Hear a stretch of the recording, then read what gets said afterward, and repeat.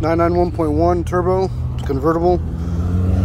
I just heard it has upgraded turbos and bolt-ons.